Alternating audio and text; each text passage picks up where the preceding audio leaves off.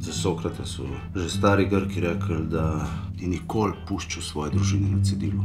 Če pride zadeva na policijo, potem pomeni to katastrofo za šolo. Ti veš, kaj se mi je zgodilo danes? Skoraj sem zbil enega kolesarja na cesti. In? Mislim, da je že precej boljši od najo, ki so na njegovih letih.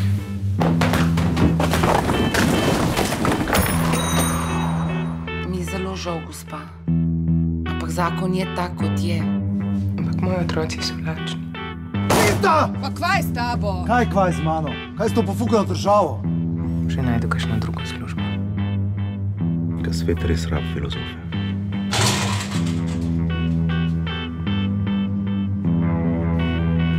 En posel bi imel zate, če rabiš kot narja. Seveda, če te zanima. Ne vedel, da imaš familijo! Eh? Pa poskrb za familijo! Mi dva sva predlani in lani še oba imela službo. Mi dva zdaj raba podporo, ne pred dvemi leti, gospa. Platon pa je bil en navaden petak. Tak si, kot je bil tvoj fotor. Še za familijo ne znaš poskrbeti. Kdo so ti ljudje? To so naši prijatelji. Hočem svoj strop! Katarza je ugodje, je izliv, je olajšanje in sprostitev.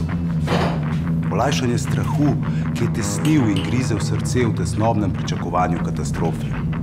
Izliv sočutja, ki so ga spočetka dušile sence mračne usode, ki pa naposled bruhne na dan in pogleda neizprostni katastrofi pogumno v obraz.